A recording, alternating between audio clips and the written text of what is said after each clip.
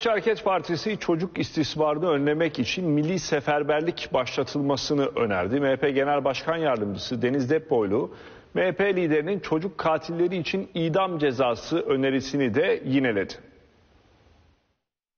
Artık etkili politikalar geliştirmek, kurumsal ve kanunsal kusurlarımızı düzeltmek, milli bir seferlik başlatmamız gerekmektedir. MHP istismara karşı milli seferberlik başlatılmasını istedi. Açıklama Genel Başkan Yardımcısı Deniz Depboylu'dan geldi. İstismarın zihniyetle ilgili bir sorun olduğunu belirten Depboylu, yapılacak istismar düzenlemesiyle ilgili MHP'nin görüşünü anlattı. Cinsel istismar 18 yaşından küçüklere yönelik her türlü cinsel dav- davranışı kapsayacak biçimde düzenlenmelidir. Ensest ayrı bir suç olarak tanımlanmalıdır. Depboylu MHP liderinin çocuk katilleri için idam cezası önerisini yineledi.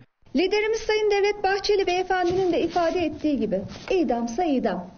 En ağır ceza verilmeli, işlenebilecek yeni suçların önüne geçilmelidir. Depboylu hem kentsel hem de kırsal bölgelerde çocuklara yönelik istismar araştırmaları yapılması gerektiğini vurguladı.